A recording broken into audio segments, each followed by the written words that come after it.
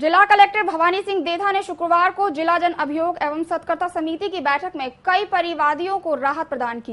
बैठक में लंबे समय से पीसंगन के लीडी गाँव के परिवादी शिवराज जाट का प्रकरण लंबित था। शिवराज एक दुर्घटना में गंभीर रूप से घायल हुआ था। मोटरयान अधिनियम न्यायालय ने शिवराज के प्रकरण में क्लेम के रूप में पाँच लाख रुपए स्वीकृत किए थे। प्रार्थी शिवराज यह राशि अप्रार्थी रंजित निवासी लीडी से लेने के लिए लंबे समय से चक्कर काट रहा था। देथा ने इस प्रकरण को गंभीरता से लेते हुए हाल ही में हुई एक नीलामी की राशि शिवराज को दिलाने के निर्देश दिए।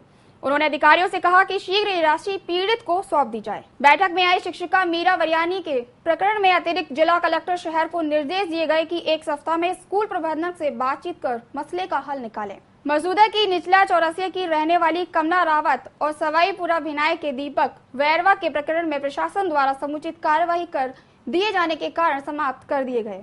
शिक्षा विभाग के शिक्षक स्वर्गीय गोपाल शक्तावत की पत्नी मधु कंवर द्वारा पेंशन परिलाभ एवं अन्य परिलाभ दिलाए जाने के परिवाद को भी देथा ने गंभीरता से लिया उन्होंने शिक्षा जीपीएफ एवं संबंधित अधिकारियों को बैठक में बुलवाया और निर्देश दिए कि उन्हें समस्त लाभ शीघ्र दिलवाए जाएँ। शक्तावत की प्रोविजनल पेंशन भी तुरंत शुरू करने के निर्देश दिए